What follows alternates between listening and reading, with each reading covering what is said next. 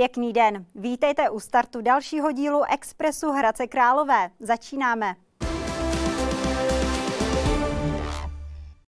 V Hradci Králové se uskutečnil další ročník dožínek. Za hojné účasti byla předána ocenění i přání pro hospodáře do dalších let. Fungující hospodářství je důležitým stavebním kamenem pro každý kraj. Jako poděkování regionálním hospodářům se každý rok předávají ocenění a zároveň se občanům dává možnost, aby se blíže seznámili s rostlinou i živočišnou výrobou. Je to, je to tady hezký, no, je to tady jednou za rok, že jo. Uh, hodně lidí sem chodí, no, tržba taky není tak nejhorší, no, tak jako jo, rádi sem jezdíme. Před koupalištěm Flošna vyrostlo velké pódium, kde byl hlavní program. Současně ho doplňovalo velké množství stánků, ve kterých lidé ze všech koutů republiky prezentovali své výrobky.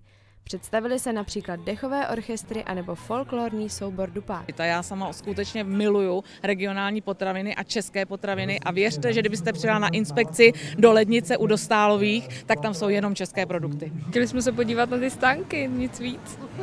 Co tady prodávají dobrýho. Tak my sem chodíme každý rok kvůli dětem, takže určitě program pro děti, zvířátka a plus regionální potraviny.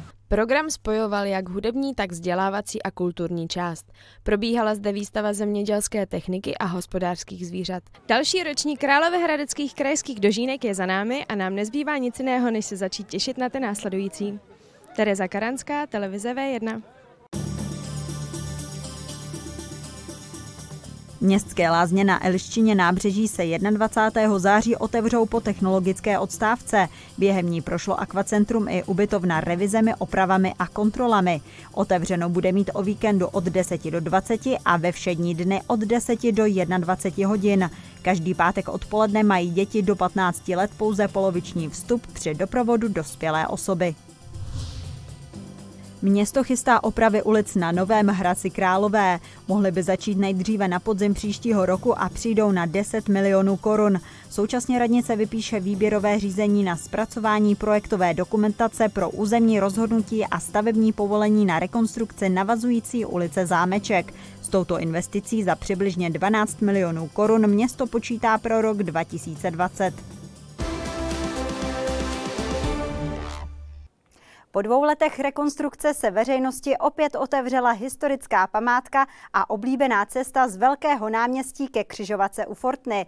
Bono Publico se ukázalo ve své nové podobě. Oprava byla rozdělena do několika etap. První začala předloni v letních měsících. U Bona Publika byl především problém s vlhkostí zdiva, do kterého bylo nově zabudováno zařízení pro elektroosmózu neboli speciální technologii na odvádění vlhkosti. A ta druhá fáze pak byla eh, kompletní oprava, včetně odkopání obou stran té stavby což dole u jižního portálu činí až 7 metrů do hloubky. Pak už jsou to ty věci, které dneska vidíte, to znamená jako prava střechy, tamburů, obou zahrad Biskupská, terasy a, a ten interiér. Povedlo se to a všechna čest architektům za nápad, všechna čest stavební firmě za to, že to dokázala zrealizovat. Protože opravdu je to, je to krása a rozhodně to doporučuji navštívit večer, kdy je schodiště nádherně nasvícené. Osvětlení je nově z každé strany vstupu u portálu a také uvnitř. Větší viditelnost v průchodu má přispět k vyšší bezpečnosti chodců. Vandaly odradí kamerový systém, který je napojený na městskou policii. Novinkou je také hudba, která zní při vstupu na schodiště.